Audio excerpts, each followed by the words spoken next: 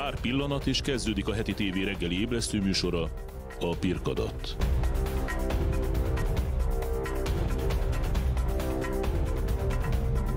Élőben a stúdióból jelentkezik Brajer Péter. A Pirkadat mai vendége Dr. Somas András ügyvéd, volt műsorvezető, az ATV főmunkatársa. Szép jó reggelt kívánok! Jó reggelt, Péter! Az ügyvédek is korán kelnek? Meg a, hát majdnem azt mondtam, hogy meg a mosónők. De való igaz, hát a, nyilván az, hogy az ember megfelelően kész legyen a tárgyalásokon, megfelelően elő tudjon készülni az ügyfelek fogadására, és mondjuk még hozzá is tudjon tenni egy-egy ügyhöz, az igényli azt, hogy időben elkezdődjék a nap. Iszonyú nagy marhaságot fogok kérdezni, de engem ez érdekel. Mi nehezebb egy ügyfélnek megfelelni és rávezetni őt arra, hogy lehet, hogy a bíró nem téved, vagy több millió embernek a képernyőn keresztül meggyőzni őket, hogy szép lesz a mai napjuk, és hogy az általad vélt aktualitás és igazság fog győzni. Őszintén szóval az ügyvéd nem azért dolgozik, hogy meggyőzze arról az ügyfelét, hogy a bíró nem téved. Hát befolyásolni próbálja a bírót. Persze, persze, csak azt akarom mondani, hogy lehetőség szerint azt kell elérni, hogy a bíró azokat a szempontokat is mérlegelje a döntésére, amiket az ügyfél érdekében szükséges.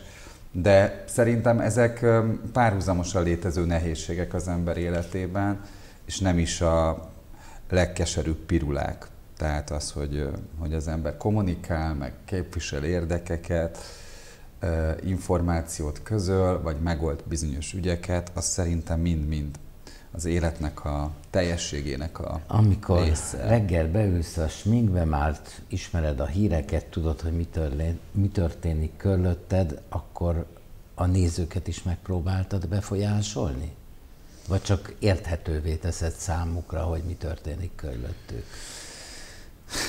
A pályám elején, amikor fiatal voltam, akkor azt gondoltam, hogy nagyon nem célszerű a nézőknek, olvasóknak megmondani szájukba rágni, hogy mi a helyzet. Inkább össze kéne csoportosítani a tényeket, meg bizonyos kommentárokat a tények ö, ismertetésére elmondani számukra, és ebből ők le tudják szűrni azt, hogy mi a helyzet. Ezt azért kellett felülvizsgálnom ezt az álláspontot, mert olyan abszurd hírek jöttek, hogyha az ember ezt, no, no, ezt a módszert választja, akkor azt hiszik, hogy nem normális.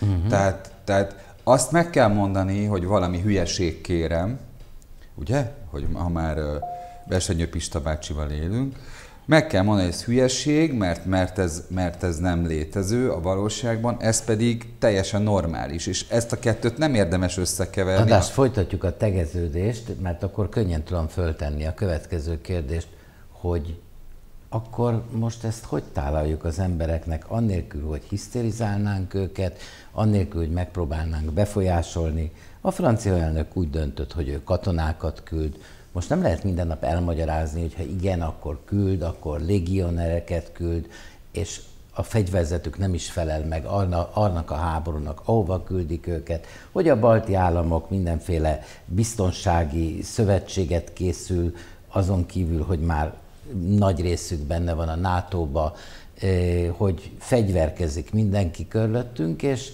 a hírügynökségek olyan mennyiségű háborús hangulatot nyomnak felénk, mi a teendőnk? Hogy magyaráznád ezt meg neki most újból?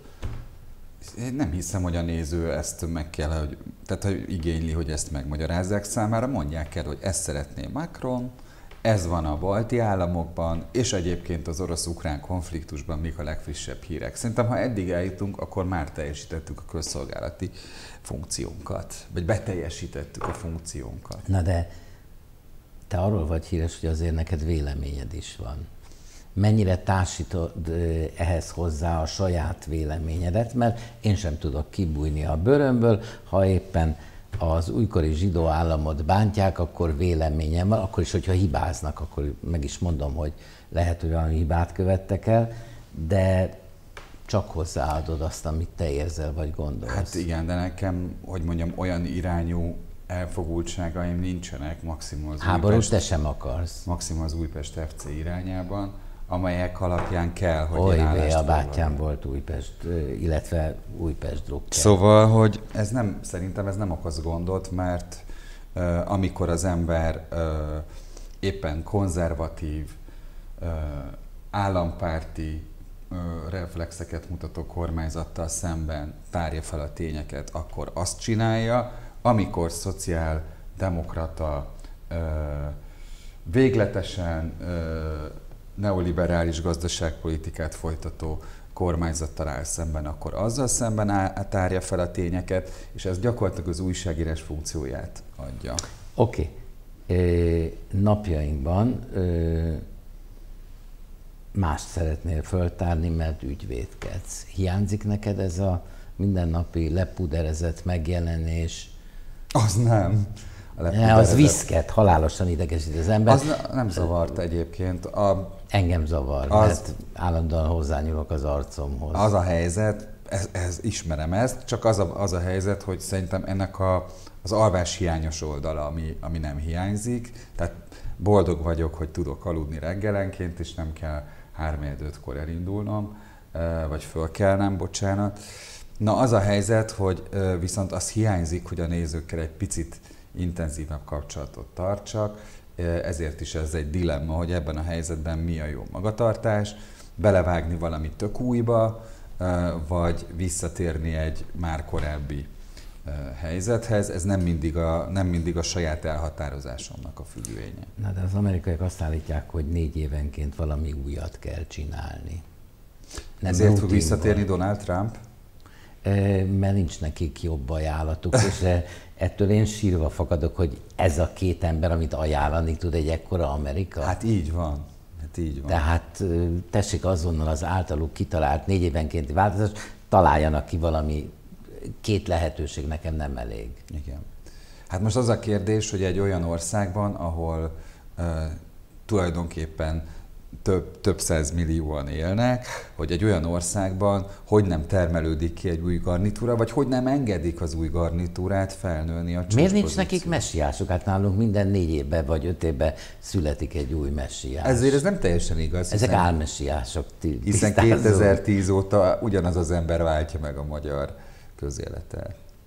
Ugyanaz a két ember. Én a, a, a statisztákra és az egyéb szereplőkre okay. gondolok. Igen. És ö, én, én úgy érzem néha, hogy én meg kéne, hogy mondjam, hogy mit gondolok, de ez segít az emberiségen, ha én megmondom, hogy mit gondolok. A kérdés a következő, hogy mennyit adsz saját magadból. Te Péter, te feltetted magadnak azt a kérdést, hogy hogy érzed jól magad? Én úgy érzem jól magam, hogy én megmondom, amit gondolok. E- Éppen ezért nem mindenki szeret. Persze vannak, akik szeretnek, és azt mondják, De hogy ez a kedves kis kopasz öregember milyen, milyen De senkit sem mókás. szeret mindenki. Meg És már nem azzal- is érdekel, hogy mindenki Igen, szeressen. de hogy ezzel lehet együtt élni, hogy nem szeretik az embert. Bárhogy néha nem szeretik. Mert Igen. hogy ez ilyen, hogyha az ember a nyilvánosság előtt dolgozik, akkor, akkor ki van téve a kritikáknak, és ez helyes. Um, amúgy meg Hát egy ügyvéd is ki van téve a kritikáknak. Persze, sőt, hát az ő sikeressége azért nehéz, mert ugye ő megfelelő gondossággal való eljárással szerződik, tehát nem azt mondja, hogy el fogom érni, hogy a pert megnyerjük, hanem azt mondja, hogy felelőtlenség is. mindent megteszek annak érdekében, hogy ezt, Hogy ezt ezt az, ön számára, az ön számára kedvezően záruljon. És hogyha ki is tudja mutatni, hogy ennek megfelelően tevékenykedik, az a baj, hogy az ügyfelek nagy része úgy érzi, hogy az ügyvédek nem így cselekednek, vagy sokszor van az a kritika, én is hallom, és ezért mondom, tehát amikor betelefonálnak, hogy az ügyvédek ilyenek, olyanok, amolyanok, de ennek mindig két oldala van, az az igazság. Meg kéne kérdezni az ügyvédeket. Én abban a ragyogó, különleges helyzetben vagyok, hogy magamat kirúgni nem tudom, és, és azért néha ha véletlenül rápillantok a képernyőre egy ismétlésnél, akkor elkezdem vakarni a fejemet, és azt mondom, hogy á, lehet, hogy itt másképp kellett volna. De a te esetedben te nem voltál a, a, annak a nagyon klassz kis tévének a tulajdonosa, hanem egy fizetett És milyen jó alkalmazott. nekem ez. Hát ez tényleg jó nekem, hogy nem voltam a tévé tulajdonos. A műsor stratégiai kérdésekben és személyzeti kérdésekben nem nekem kellett dönteni, hál' Istennek. De amit mondtál, azt te kellett, hogy eldönts, hogy hogy állsz Persze. bármi kérdéshez hozzá. Persze. Még annyi időnk van, mert ez egy borzalom. Nem is tudom, hogy miért van olyan, hogy a riporter nem annyit kérdezhet, amennyit akar, hanem így villognak a mindenek, hogy lejár a Igen. beszélgetésre szánt idő. Amikor betelefonál, én valamikor, amikor fiatal voltam, ilyenekben részt vettem, és már a betelefonáló hangjáról néha fölismertem, hogy ki az, vagy az első mondataiból Igen. véltem, hogy, hogy ez merre megy. Mennyire válik ez rutinná? Az a jó, hogyha ez nem látszik, hogy ez rutin. Vannak helyzetek, amikor az ember olyan szintet ér el az energia készletében, hogy a rutinjából él. De hogyha ez lejön a képernyőről, az meg életveszélyes, úgyhogy az ember azért kell, hogy dolgozzon, hogy megfelelő Hogy ne lássák, hogy nyitott szemmel alszik az ember. Nem, azért igen, tehát hogy sokszor van ilyen, főleg egy olyan műsor struktúrában, ami egy egész napos műsorvezetői jelenlétet kíván. A fórum például ilyen volt. Hiányzik ez neked most őszintén? Én nagyon szeretem a beszélgetéseket, engem érdekelnek az emberek, mindig azt mondom, amikor azt kérdezik, hogy hogy van ennyi nyugalmam, vagy türelmem, hogy az a baj, hogy érdekelnek az emberek, és hogyha valaki elkezd mesélni nekem, akkor figyelek. Ez egy automatizmus. Én is imádok beszélgetni, de itt mögötted már a monitor, itt azért nem a néző előtt van a monitor, hogy én lássam, hogy mikor villog, mert az óra ott van. Ez a legszomorúbb hír ma reggel, Péter, hogy vége van. É, nagyon köszönöm, hogy eljöttél hozzám. Én viszont nagyon örülök, hogy itt voltál, Én és bízom benne, hogy sűrűbben fogsz jönni hozzánk. Hívsz Egy jövök. másik műsorban is hamarosan feltűnsz, Na. ahol több idő van arra, hogy újból visszatársanak. De vendégként. Vendégként, Így vendégként. Pedig ez olyan jó lett volna, hogy így élőben meg tudlak győzni, hogy gyere hozzánk dolgozni, hogy én többet tudjak aludni. Vendégünk volt dr. Somos András ügyvéd, úgyhogy ha hiányzik önöknek, akkor ügyes bajos dolgaikkal, és ez nem a hirdetés helye, menjenek el hozzá. Ezt nem beszéltük meg. Nem, nem mint pszichiáter fogja fogadni önöket, hanem mint ügyvéd, de higgyék el, aki egyszer a képernyőn volt, az vissza is tér a képernyőre. Ez fog történni most Nagy Attila Tibor független politikai jellemzővel is, már is itt van és ellemzi azt, amit még mi el se hiszünk, hogy így van. Tartsanak velünk!